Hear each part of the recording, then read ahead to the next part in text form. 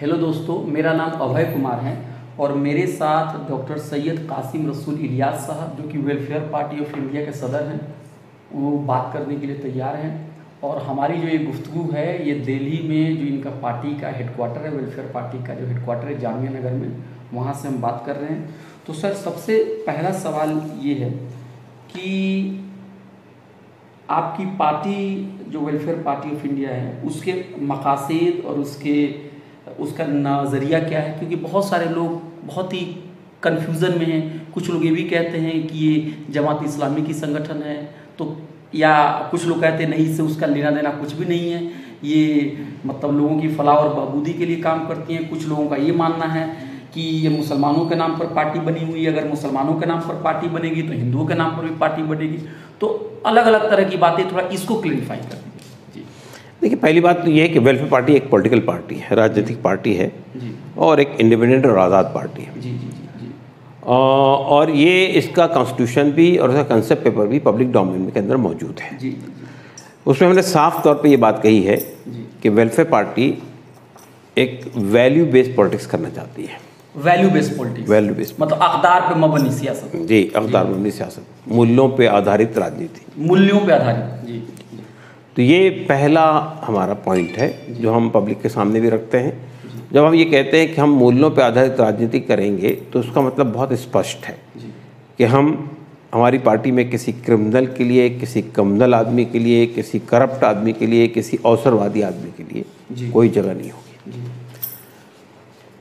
हमारी party political gains हासिल करने के लिए कोई शॉर्टकट नहीं अपनाएगी। No shortcut no shortcut for political gain हाँ पॉलिटिकल गेन करने के लिए झूठ बोलना ये करना वो करना धोखा देना ये सब कुछ नहीं। हम हमने कुछ सिद्धांत और कुछ उसूल कुछ वैल्यूज़ तय की है। जी। हम लोगों को धोखा नहीं देंगे। जो बात कहेंगे उस पर अमल करेंगे। जो वादा करेंगे उसको पूरा करेंगे। जी। तीसरी बात हम दूसरी बात हम ये कहते हैं कि वेलफेयर पार्टी इस मुल्क में एक वेलफेयर स्टेट कायम करना चाहती है। वेलफेयर स्टेट वेलफेयर स्टेट यानी कल्याणकारी राज्य। जब हम वेलफेयर स्टेट कहते हैं तो हम बहुत स्पष्ट हैं इस मामले में। हमारा मानना ये कि यहाँ पर हर आदमी को देश के हर नागरिक को जो बेसिक सुविधाएँ हैं वो मिलनी चाहिए। जी। हर- हेल्थ एजुकेशन हर सर को छत हर बदन को लिबास हर पेट को दो वक्त की रोटी और हर हाथ को काम। और हर पैदा होने वाले बच्चे को फ्री कंपलसरी और क्वालिटी एजुकेशन जी। ये बात तो हम सिर्फ़ नारा नहीं है हमारा। जी हम कमिटेड हैं अपने इस बात से। तीसरी बात हम ये कहते हैं जी। कि देश में रिसोर्सेज की कमी नहीं है। जी। लेकिन ये रिसोर्सेज कुछ हाथों में एक्यूमुलेट हो गए हैं। हम रिसोर्सेज का इक्विटेबल डिस्ट्रीब्यूशन चाहते हैं। मुनसिफाना तकसीम हर आदमी की बुनियादी ज़रूरतें पूरी होनी चाहिए। ये जो हमारे देश की इकनॉमी ने साइफन कर लिया है पूरे देश की वेल्थ को चंद हाथों में अभी ये बताती है हमारे देश के आंकड़े ये बताते हैं कि वन परसेंट लोग देश की 99 परसेंट रिसोर्स पे काबिज हो गए। और वन परसेंट रिसोर्सेज पे पूरे 99 परसेंट लोग ज़िंदगी गुजार रहे हैं। जी।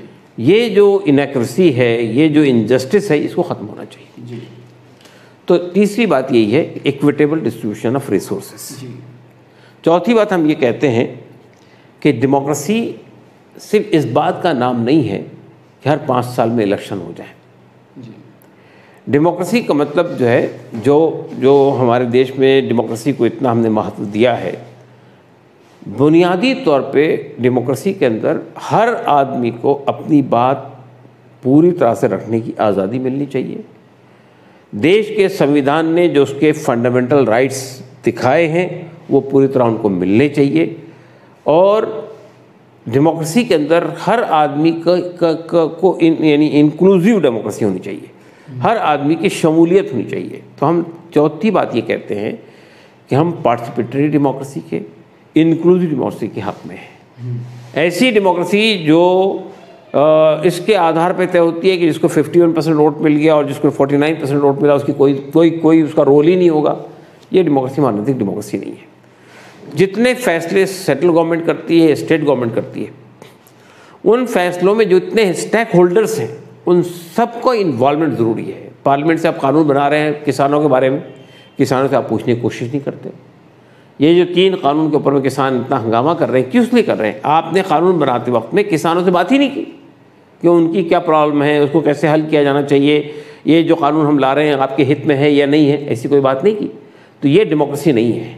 ये तो डिक्टरशिप है कि आप एक कानून बनाएँ, आपके पास मेजॉरिटी आ गई पार्लियामेंट में तो आप जो चाहें काले, पीले कानून बना के लोगों पर थोप दें। ये डेमोक्रेसी नहीं है, ये डिक्टरशिप है। डेमोक्रेसी का मतलब होता है इन्वॉल्वमेंट पब्लिक का इन्वॉल्वमेंट होना चाहिए।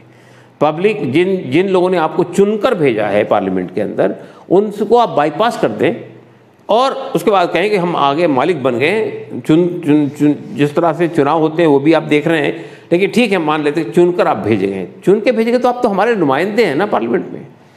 पार्लियामेंट में, असेंबली में you are our representative we expect that whatever decision you take और whatever laws you made you will consult us you never consult us चाहे एजुकेशन पॉलिसी हो इकोनॉमिक पॉलिसी हो health policy हो rural policy हो urban policy हो foreign policy हो, हर चीज़ के अंदर जो स्टेक होल्डर्स हैं, उनके साथ कंसल्टेशन ज़रूरी है। उसी को हम कहते हैं पार्टिसिपेटिव डेमोक्रेसी उसी को हम कहते हैं इंक्लूसिव डेमोक्रेसी डेमोक्रेसी के अंदर चाहे आदमी की संख्या कितनी छोटी हो, कितनी माइक्रोस्कोपिक माइनॉरिटी हो, कोई कास्ट है, कोई कम्युनिटी है, उसके बेसिक राइट्स को आप छीन नहीं सकते। बेसिक राइट हर फर्द का हिस्सा है, उसको मिलने चाहिए। तो सर, आप तो कह रहे हैं बात वेलफेयर की, आप बात करते हैं डेमोक्रेसी की। आप कह रहे हैं कि हर हाथ को काम मिले, रोज़गार मिले बेसिक फैसिलिटीज़ मिले। फिर क्यों कुछ लोग कहते हैं कि आपकी पार्टी मुसलमानों की पार्टी? अभी हम उस पर आते हैं। जी। पांचवी बात हम ये कहते हैं जी। कि हमारा देश जो है वो किसी एक धर्म के मानने वालों का देश नहीं है। जी बिल्कुल सही। जी। किसी एक जबान के बोलने वालों का देश नहीं है। जी। किसी एक कल्चर के मानने वालों का देश नहीं है। ये multi religious multi cultural multi linguistic society है तो ये एक प्लूरल मास्टरा है। हाँ? मखलूत मास्टरा है प्लूरल मास्टरा है। तो ये डाइवर्सिटीज़ को बाकी रहना चाहिए। तो सर जी आते हैं उसी सवाल। अभी हम उसमें आ रहे हैं वापस। तो हम ये कहते हैं पांचवा पॉइंट हमारा ये है कि वेलफेयर पार्टी कल्चरल फेडरलिज्म लाना चाहती है देश में। कल्चरल फेडरलिज्म जी स्टेट को हमारे फेडरल फेडरल स्ट्रक्चर है लेकिन वो भी छीनने की कोशिश हो रही है। लेकिन हम हम ये चाहते हैं जितने कल्चर इस मुल्क में थ्राइव कर रहे हैं उन सबको फेडरलिज्म कल्चर फेडरलिज्म होना चाहिए उनको आज़ादी मिलनी चाहिए। मतलब आप चाह रहे हैं कि कल्चर के मामले में जो लोगों को खुद मुख्तार और जो अलग अलग कम्युनिटीज़ है उनको खुद मुख्तारी दी जाए ताकि कोई एक सेंट्रल लीडरशिप सब कुछ तय न करे। नहीं किसी एक आप देखिए इस देश में किसी एक कल्चर को किसी एक लैंग्वेज को किसी एक रिलीजन को थोपने की कोशिश करेंगे तो समाज में इंतज़ार पैदा होगा। तो ये पाँच पॉइंट हम कहते हैं। अब आपका ये बात कह आप ये जब इतनी अच्छी बातें कर रहे हैं तो लोग क्यों कह रहे हैं कि मुसलमानों की पार्टी है? देखिए पहली बात तो ये कि लोग हमारे यहाँ बहुत सारे लोग बात कहते वक्त में उसका कोई आधार नहीं पेश करते हैं। और बहुत आसान हो गया किसी भी कोई इल्ज़ाम लगा दीजिए सबूत देने की कोई ज़रूरत नहीं है। बीजेपी ने इस परंपरा को बहुत आगे बढ़ाया। हमारा कहना ये है हमारी पार्टी में हर धर्म के लोग मौजूद हैं। हर इलाके के लोग मौजूद हैं। अब इस आप देखिए ग्यारह ग्यारह स्टेट में पार्टी है इस वक्त में। क्या साउथ की पाँचों रियासतों में है बंगाल में है दिल्ली में है यूपी में है गुजरात में है महाराष्ट्र में है। तो हम हमारी पार्टी में अगर आप देखेंगे तो आपको किसी एक धर्म के मानने वाले लोग नहीं मिलेंगे सब धर्म के लोग मिलेंगे। हर भाषा के बोलने वाले लोग मिलेंगे। कम ज़्यादा हो सकते हैं इसलिए कि ये डिपेंड करता है कि कौन सी कम्युनिटी पॉलिटिकली अनएम्पावर्ड है कौन सी कम्युनिटी पॉलिटिकली एम्पावर्ड है। मिसाल के तौर पर अगर यादव के लिए एक पार्टी मौजूद है तो यादव किसी और पार्टी में क्यों जाएगा? दलितों के लिए एक पार्टी मौजूद है। तो कौन लोग आपकी पार्टी में आ रहे हैं? नहीं हमारी पार्टी में तो सब लोग हैं। कम ज़्यादा की का फ़र्क है। मिसाल तो तो ज़्यादा कौन है कम कौन है? ज़ाहिर है सबसे ज़्यादा पॉलिटिकली एम्पावर्ड कम्युनिटी जो है मुसलमान है। तो बट नेचुरल यह है कि वो पार्टी कहा कि सबसे ज़्यादा पॉलिटिकली डिसम्पावर्ड हाँ अनएम्पावर्ड डिसम्पावर्ड जो भी। मतलब वो इकतदार से सबसे ज़्यादा दूर रखे गए हैं जी। रखे गए हैं रख रह गए हैं जो भी कहिए आप उसको। लेकिन सबसे ज़्यादा politically weightless politically marginalise community अगर कोई है तो मुसलमान है। इसीलिए सबसे ज़्यादा मुसलमान आपको यहाँ नज़र आते हैं। लेकिन अगर बात कोई कहे खातन दलित तो खवातीन भी है। हमारी नेशनल टीम में खातन है। फॉर एग्ज़ाम्पल हमारी एक जनरल सेक्रेटरी खातून है। हमारी एक नेशनल सेक्रेटरी खातून है। और ये हम देखिए हम देखिए हम खातन को भी ज़्यादा तादाद में लाना चाहते हैं अपनी पार्टी में। नौजवानों को भी ज़्यादा तादाद में लाना चाहते हैं। बुज़ुर्गों को भी लाना चाहते हैं। लेकिन किसी भी पॉलिटिकल पार्टी के सिलसिले में एक बात मान के चलना चाहिए आपको। एक पीरियड उनका ऐसा गुजरता है कि लोग उस पर उस वक्त तक के एतमाद नहीं करते हैं जब तक कि उसको किसी असम्बली में या पार्लियामेंट में उसकी कामयाबी नहीं मिलती है। सीट मतलब तक मतलब जब तक वो इलेक्टोरल सक्सेस उनको नहीं मिली। जब तक इलेक्ट्रल सक्सेस नहीं मिलती उसको मास सपोर्ट नहीं मिलता अच्छा उसको लोग सीरियस ज़्यादा नहीं लेते सीरियस लेते हैं वो कहते हैं जब तक ये पॉलिटिकल देखिए सीरियस लेने का मतलब ये होता है मतलब सीरियस वोट डालने डालते वक्त। उनको लगेगा अरे बात बात अच्छे भी कर रहे हैं लेकिन जीतेंगे नहीं। और जब तक आप तजुर्बा नहीं करेंगे उस वक्त तक तो आप ये ये कहना कि जीतेंगे नहीं ये नहीं हम लोग यूनिवर्सिटी में भी इलेक्शन लड़ते थे तो मगर देखिए- लोग कहते थे कि चलो ये कैंडिडेट अच्छा तो है लेकिन उसको वोट देगा वोट खराब नहीं करेंगे। ठीक है। देखिए सवाल ये पैदा होता है कि अभी हम हमारी पार्टी को लोकल बॉडी के अंदर कामयाबी मिलना शुरू हुई है। लोकल बॉडी हाँ। कहाँ कहाँ मिली केरला में हमको 42 सीट्स हमने जीती है लोकल बॉडीज़ की। और उसके अलावा भी जीती है। उसके बाद हमने कर्नाटक के अंदर तकरीबन 10 सीटें कारपोरेशन की और बावन सीटें 52 सीटें लोकल बॉडीज़ की जीती है। लोकल बॉडीज़ मतलब पंचायत की। उसके बाद महाराष्ट्र में भी हमने कारपोरेशन की सीटें जीती है बंगाल में भी कारपोरेशन की जीती है राजस्थान में भी जीती है। तो ये सिलसिला हमारा शुरू हो गया है और हम नॉर्थ इंडिया नॉर्थ इंडिया में अभी हमने पार्टिसिपेट तो किया है लेकिन अभी हमको कोई सक्सेस नहीं मिली है। नॉर्थ इंडिया से मुराद यूपी और दिल्ली वगैरह में। लेकिन हमें उम्मीद है वो भी वक्त आ जाएगा। तो मसला मैं बात जो कहने जा रहा हूँ असल में कि जब तक आपको लोग यानी ज़ाहिर कि हमने बातें रखी हैं अपने कंसेप्ट पेपर में हम अपनी तकरीर में अपनी बात को अपना परिचय कराते हैं। लेकिन लोग ये देखना चाहते हैं कि ज़मीन पर आपका काम कैसा है। तो जहाँ लोकल बॉडी का इलेक्शन हमने जीता है जहाँ हमने कॉरपोरेशन का इलेक्शन जीता है वहाँ जाकर आप काम देखिए हमारे लोगों का। आप बिल्कुल वादे फ़र्क महसूस करेंगे दूसरे लोगों में हमारे आदमी में। हमारा आदमी दिन रात लगा हुआ है लोगों के वेलफेयर काम में। और जो कुछ भी फंड अवेलेबल होता है उसको उस फंड का पूरा इस्तेमाल होता है। जी जी। तो हमें यकीन है उम्मीद है कि ये इसी रास्ते से हम स्टेप बाय स्टेप पार्लियामेंट और असेंबली तक भी पहुँचेंगे। अच्छा ये ये अगर आप केरला का जो आपने एग्जांपल दिया तो वहाँ पे आपको कामयाबी मिली है एसडीपीआई को भी कामयाबी मिली है मुस्लिम लीग भी हैं। तो सर आप आप देखते हैं कि कई मकाम पे बहुत सारी पार्टियाँ जिनके अंदर में मुसलमानों की एक बहुत बड़ी आ, मतलब सपोर्ट बेस है उनके बीच में भी कई बार मुकाबला शुरू हो जाता है। तो इससे इस इससे कन्फ्यूज़न पैदा होता है माइनॉरिटीज़ के बीच में और ये कहीं ना कहीं ये भी ये भी क्रिएट करने का एक इम्प्रेशन करता है। मेजोरिटी कम्युनिटी के जो पॉलिटिक्स करते हैं वो भी इस चीज़ों को बेचने की कोशिश करते हैं कि देखो मुसलमानों के बीच में इतनी पार्टियाँ बन गई तुम हिंदू लोग यूनाइट नहीं होते हो। तो इस तरह की जी इस तरह की भी चीज़ें आती हैं। देखिए अगर आप इस बात पे बात करते हैं हमारे देश में इस वक्त में मोर देन टू थाउज़ेंड पार्टियाँ रजिस्टर्ड है इलेक्शन कमीशन से। मोर देन टू थाउज़ेंड पार्टियाँ। और ज़ाहिर है सब मुसलमान पार्टियाँ तो नहीं है। ना सब मुस्लिम पार्टियाँ नहीं है। तो मुस्लिम पार्टियाँ गिनी यानी जो मुस्लिम लेड पार्टी पार्टी हम तो अपने आप को मुस्लिम पार्टी नहीं कहते जो मुसलमानों की यानी लीडरशिप में मुसलमान हैं ऐसी पार्टियाँ चंद पार्टियाँ हैं पूरे मुल्क में। ये कहना कि मुसलमानों की बहुत पार्टियाँ हैं ये बात गलत है। जो पार्टियाँ अपने आप को मुसलमानों के लिए कहती है आगे बढ़ के बात करती है वो एक तो इंडियन मुस्लिम लीग है वो भी उस, तरह नहीं करती है कम्युनल पॉलिटिक्स नहीं करती है वहाँ पे केरला के अंदर।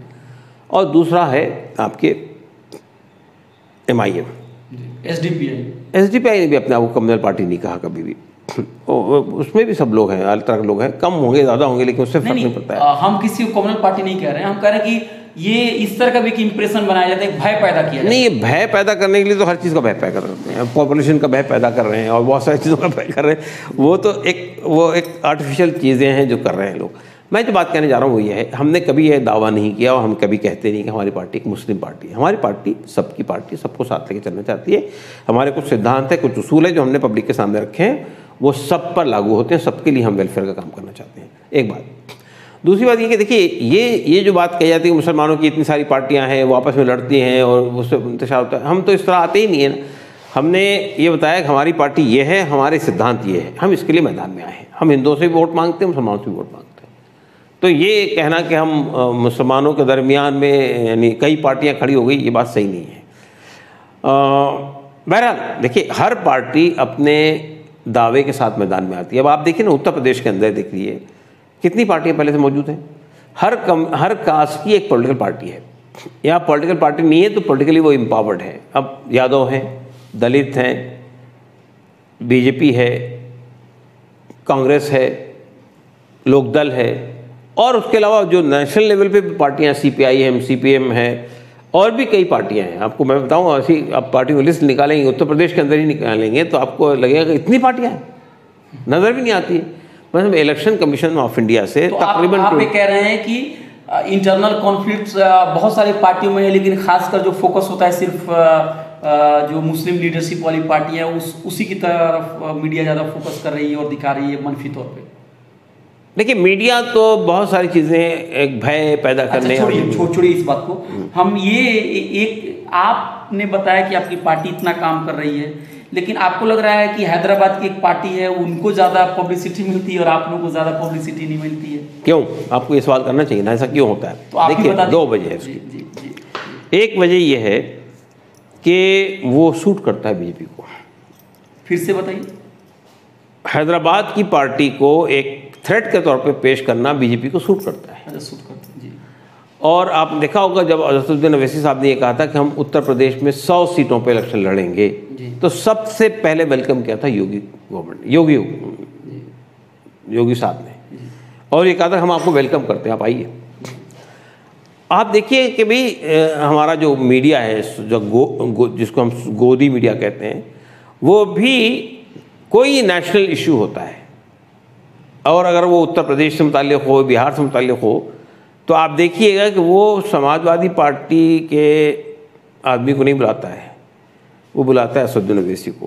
अच्छा। वो बुलाता है संबित पात्रा को। एक तरफ़ असदुद्दीन अवैसी होते एक तरफ़ संबित पात्रा। अच्छा एक और इंटरेस्टिंग बात यह है कि अगर मैं अपने गाँव में चला जाऊँ बिहार में मान लीजिए हम और किसी से पूछें कि मान लीजिए कि मुसलमानों की इस मिली रहनुमा को आप जानते हैं कि नहीं इस स्कॉलर को जानते हैं कि नहीं। लोग बहुत ज़्यादा नहीं जानते हैं लेकिन हैदराबाद के लीडर को सब कोई जान रहा है और और उनको समझता है कि मुसलमानों के वही लीडर हैं और बहुत ही निगेटिव तर, तर, तरीके से बहुत सारे डिस्कोर्स चल रहे हैं। हाँ सही है। उसकी वजह वही है ना। देखिए एक होता है देखिए असदुद्दीन अवैसी पार्लियामेंट में बोलते हैं। आप मुझे बताइए आप पार्लियामेंट को फंक्शनिंग को आप जानते हैं देखते हैं। पार्लियामेंट में किसी भी पार्टी को उसकी संख्या के बुनियाद पर टाइम अलॉट होता है। जी। अगर मतलब संख्या के बुनियाद पर। संख्या के बुनियाद पर होता है। आप वो आपका एक एक आदमी है से पार्लियामेंट में उसको एक मिनट मिलेगा दो मिनट मिलेंगे। किसी के सौ आदमी है तो उसको उसके हिसाब से इतने स्पीकर मिलेंगे इतना टाइम मिलेगा। ये तयशुदा उसूल है। असुद्दीन अवैसी पार्लियामेंट बात करते हैं। दस मिनट पंद्रह मिनट लंबा चौड़ा भाषण देते हैं। कोई रोक टोक नहीं होती है। थोड़ा बहुत मामूली सी रोक टोक होती है। अरे भाई असुद्दीन अवैसी अच्छा कंक्लूड कीजिए। हाँ सर कंक्लूड करना। अरे कंक्लूड कीजिए। ये सिलसिला चलता रहता है। लेकिन स्पीच तो बढ़िया होती है सर। तो मतलब नहीं स्पीच बढ़िया होती है उससे मैं खतरे नहीं करता देख मैं असदुद्दीन अवैसी की एबिलिटी काबिलियत पे कोई सवाल नहीं कर रहा हूँ मैं। आपका प्रेजेंटेशन कैसा है इस चीज़ को लेकर आप एक मुस्लिम, देखिए, किसी भी मसले को आप एक मसले, मुसलमानों का जितने प्रॉब्लम्स हैं, जितने प्रॉब्लम्स हैं, एक आध दो प्रॉब्लम को छोड़ के, वो सब वो प्रॉब्लम है जो इस मुल्क के हर आदमी के प्रॉब्लम है। एजुकेशन का प्रॉब्लम हो अनएम्प्लॉयमेंट का प्रॉब्लम हो, उनके कारोबारों का प्रॉब्लम हो, उन पे जो लिंचिंग के वाक़ात हो रहे हैं, वो हो। तो आप देखें कम बेश हर कम हर मार्जिनलाइज कम्युनिटी के साथ ये हो रहा है देश में। आप प्रेजेंट अगर इस तरह करते हैं कि मुसलमानों के साथ ये जुल्म हो रहा है और मुसलमानों को ये हो रहा है मुसलमानों को गया है तो आप एक मुस्लिम नैरेटिव खड़ा करते हैं। जी। अगर हम ये कहते हैं कि भाई इस मुल्क के मिसाल के तौर पर मैं चंद बातें आपको हूँ। हमारे देश में कुछ कानून बने हैं कुछ पॉलिसीज़ बनाई है यूपीए सरकार ने बनाई थी मतलब मनरेगा है नरेगा। नरेगा में कहा भाई जितने गाँव देहात में काम करने वाले मजदूर हैं, जब बारिश हो जाए, कारोबार ख़त्म हो जाए, यानी मजदूरी ख़त्म हो जाए, या जब सूखा पड़ जाए, मजदूरी ख़त्म हो जाए तो ऐसे दिनों में सौ दिन का मिनिमम वेजेज एक्ट के तहत में रोज़गार फ्राहम करना स्टेट की रिस्पॉन्सिबिलिटी है। अब इसका जो लाभ मिलेगा हर मजदूर को मिलेगा। हिंदू मुसलमान सिख ईसाई। मत जी मतलब आप ये कहना चाहते हैं कि दिन रात या हर बात में हिंदू मुसलमान करना हम लोग मतलब सेकुलर पॉलिटिक्स के अगेंस्ट जाती है? आप आपका प्रेजेंटेशन कैसा होता है इस पर आपको डिपेंड करता है। आप अगर प्रेजेंटेशन ये करते हैं कि भाई अगर इवन इफ़ सब मुसलमानों के किसी मसले को हम लगा रहे हैं तो हमको इस तरह बात करनी चाहिए कि ये देश के हित में नहीं है कि आप एक पर्टिकुलर कम्युनिटी को माइनलाइज करते हैं। आप उसके आंकड़े दे सकते हैं। ये देखिए इसमें देश का क्या नुकसान है। ये देश का क्या नुकसान हुआ हमारा? मिसाल के तौर पर दो तीन चीज़ें बताओ इस सरकार के आने की बात हुई है। एक बात तो ये हुई है कि आपने देखा होगा कि मुसलमानों में आम तौर पर यानी ये जो गोश्त का कारोबार है ये मुसलमान लोग करते हैं। जी। है ना? या नहीं बिल्कुल बहुत ज़्यादा नहीं है। मैंने तो यहाँ तक सुना कि बहुत सारे कंपनियों के मालिक नॉन नहीं नहीं वो तो उसकी एक्सपोर्ट की बात नहीं कर रहा हूँ मैं। यहाँ दे, देश के अंदर। गोश्त काटना वो करना। मैं समझ गया ले, लेबरर के तौर पे। लेबर नहीं कसाब जो है ना कम्युनिटी। उसमें मुसलमानों की एक बड़ा रिप्रेजेंटेशन है। और कुरैशी बिरादरी पूरी वो, उसी वही कारोबार करती है। और ईद उल अजहा के मौके पर बड़े पैमाने पर मुसलमान स्लॉटरिंग करते हैं जानवरों की। एक लंबे अरसे क्या होता था कि स्लॉटरिंग के बाद जो खाल ऊपर के निकालते थे खाल वो खाल डेढ़ सौ रुपये पौने दो सौ रुपये की बकरे की खाल बिक जाती थी मार्केट में। अब उसके दाम पच्चीस रुपये भी नहीं है। इसका लेदर काम बंद तो नहीं हो गया। मतलब एक एक पर्टिकुलर ट्रेड को कोई एक पर्टिकुलर कम्युनिटी कर रही है तो उसको इस तरह डाउन प्ले कर दिया जाए। हुआ सर कि जो जो जो चीज़ें दो सौ रुपये में बिक जाती थी अब पच्चीस रुपये गवर्नमेंट की पॉलिसी की वजह से हुआ। अच्छा। आप उत्तर मतलब प्रदेश उसकी में डिमांड नहीं है डिमांड ही नहीं है मतलब ये कि वो ट्रेनरी बंद की जा रही है लेदर का काम बंद किया जा रहा है। अच्छा मैं मतलब चमड़े से जुड़े हुए जो व्यापार हैं जो तिजारत है उसमें सरकार की पॉलिसी बिल्कुल सही नहीं होने की वजह से जब वो इंडस्ट्री परेशान है तो फिर उसकी खरीदारी पर भी असर पड़ता है। बस वो हो रहा है। इसी तरह से आप उत्तर प्रदेश में आप मुरादाबाद से शुरू करिए या रामपुर से शुरू करिए और बनारस तक जाइए। हर बड़े शहर में कोई न कोई एक कॉटेज इंडस्ट्री मुसलमान पास में थी। मुरादाबाद में बर्तन। कहीं चूड़ी कहीं ताला। जी। कहीं चूड़ी कहीं ताला कहीं बना बना कहीं कपड़ा, कहीं साड़ी। साड़ी। कहीं बर्तन। हाँ ये सब कारोबार था। चमड़े का कारोबार था कानपुर में। आप देखिए पूरा कारोबार वहाँ से लेकर यहाँ तक सब बैठ गया इस वक्त में। तकरीबन। उसकी वो ख़त्म हो गई। वो किसका देखिए मुसलमानों को नुकसान हुआ। तो आप कह रहे हैं कि इस चीज़ों को एक लार्जर पर्सपेक्टिव में उठाने की ज़रूरत है। मगर मैं जो बात कहना चाहता हूँ वो उसको उस तरह उठाने की ज़रूरत है कि ये कहना कि ये मुसलमानों का नुकसान हो रहा है आप ये कहिए देश का नुकसान हो रहा है। जी। तो वो तो क्या हैदराबाद के लीडर इसको समझते नहीं है या उनको सूट करता है ना देखिए मैं मैं कहना चाहता हूँ देखिए असल में होता क्या है कि पॉलिटिक्स में भी हम जब कहते हैं ना वैल्यू बेस्ड पॉलिटिक्स होनी चाहिए आपको आपका इंटरेस्ट ये है बीजेपी को फ़ायदा होता है हो हमें फ़ायदा होता है ना भाई। अगर हमको 10 सीटें मिल जाएँगी असेंबली में पार्लियामेंट में वो वहाँ पे उत्तर प्रदेश की असेंबली में 10 सीटें मिल जाएँगी तो हमको हमारी बला से बीजेपी की हुकूमत आ जाए तो। लेकिन ये तो ठीक नहीं है ना। ये तो गलत है ना। यही मतलब जो तो लार्जर जो मतलब जो सीन है उसको हमें कभी नहीं भूलना। चाहिए अंग्रेज़ी में कहते हैं ना कि मतलब पेड़ देखते देखते जंगल को नहीं मतलब नजरअंदाज हाँ तो मैं ये कहना चाहता हूँ असल में कि आप देखिए बिहार में उत्तर बिहार में असदुद्दीन अवैसी की पार्टी ने एम आई ने पाँच सीटें जीती हैं ना? लोग ये कहते हैं कि उसने जितनी सीटें खड़ी की थी, वहाँ पे जो सेकुलर फोर्सेस उसको तो नुकसान नहीं पहुँचाया। तो उसकी वहाँ मौजूदगी से सेकुलर पार्टी को नुकसान पहुँचाया, ये ये ये दलील गलत है। लेकिन दलील को देखने का एक रुख है वो, कि आपने सेकुलर पार्टी को कितना नुकसान पहुँचाया। आप, दूसरा रुख ये है कि आपकी मौजूदगी से बीजेपी को कितना फ़ायदा पहुँचा है अच्छा। एक मतलब एक एक एक माहौल बनता है। माहौल बनता है बीजेपी तो चाहती है माहौल बना देखिए देखिए इस वक्त में योगी सरकार बैकफुट पर है हर मामले में। डेवलपमेंट के जितने भी आंकड़े आप देख लीजिए बैकफुट को, कोरोना का भी मामला है। कोरोना का मामला है। जी जी। और ये मैं समझता हूँ कि इस वक्त में अगर आप वहाँ कोई कम्युनल पॉलिटिक्स को ना होने दें तो ये ख़त्म हो जाएगी। तो ये तो आपके ऊपर भी इल्ज़ाम लगेंगे अगर आप किसी स्टेट में जाएँगे और सी सीट जीतेंगे। तो तो देखिए सीट जीतने की बात नहीं है। असल चीज़ होती है आप नैरेटिव का खड़ा ओके ठीक है। तो आपके कहने का मतलब सीट आए तो अच्छी बात है नहीं आए तो उसके लिए हम काम करेंगे लेकिन जो नैरेटिव है उनके गेम में हम नहीं हम कम्युनल नैरेटिव नहीं बनने देंगे।